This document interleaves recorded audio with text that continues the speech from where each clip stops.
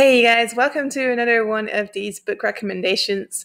Um, today I'm going to talk about The Old Man and the Sea, and I need to start with don't read this book. It's a trap. It's a trap because it's 96 pages, yet four points.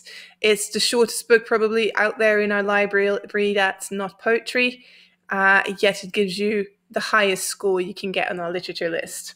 That should tell you that this book is hard super hard, the hardest, and that you should only read this book for your speaking exam if you are really good at analyzing literature. Um, if not, don't read it, please. But I'll do the groundwork first and then I'll repeat why not to read it, okay? So, um, it's The Old Man and Sea by Ernest Hemingway. That's that old dude up there. Um, right there, you can see a picture of the cover of the book and let's carry on to the basic info. So the title is The Old Man and the Sea. The author is Ernest Hemingway. It was released in 1952, so it's been a while. So the context is not super easy either. Um, and it had only 96 pages.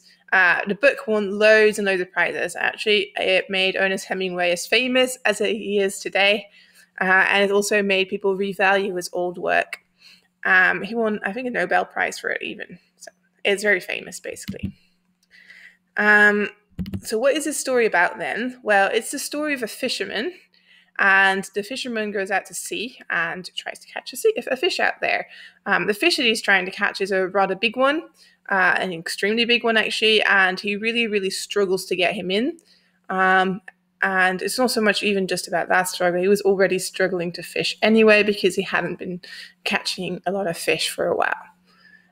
The story really isn't about that though. It's it's a very symbolical story, and it's got many many layers in there, uh, which I'm not going to betray because I'm going to take all the fun out of it. Then, um, so usually uh, this is where we end by saying, "Great, you should read this book because," and then there's a list of reasons why you should read it. Um, today I'm going to end with a little list of why you shouldn't read this book. Uh, for one, the story is not super interesting for most teenagers.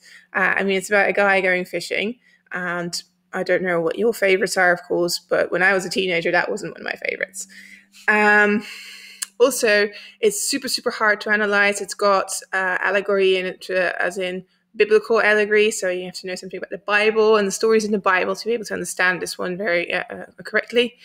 Um, it's also got a lot of context knowledge uh, in it. Um, Hemingway was uh, was someone who fought in the world wars and who was severely traumatized by it. Um, and that's in this book as well, but it's not literally in there. So you have to take it out of there yourself, and that makes it very hard. And then there's also the whole psychological uh, struggle in this book that needs analyzing. So it's very hard. And in general, there will be very, very hard questions about it in the speaking exam. So as I said, please do not read this because you think it's an easy fix for your speaking exam. Uh, it's not. Um, it's super hard, and I strongly, strongly recommend you to pick another book. Um, if you'd really like to read Ernest Hemingway because you're very interested in Hemingway, and that's how you ended up with this uh, video, then I'd say uh, maybe some of his other works are a little bit more suitable. They're a little bit easier to understand, even though they're still quite hard because I mean Hemingway in general is quite hard re- um, um, quite a hard author to read. Um, but I recommend reading one of these books, The Sun Also Rises, A Farewell to Arms, or For Whom the Bell Tolls. All of these are also very famous, so for all of these, you can also find a lot of information out there, but none of them are as highly symbolical as The Old Man and the Sea.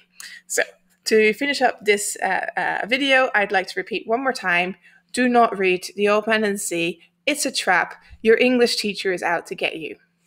Just so you know. All right. See you around next time for an actual recommendation.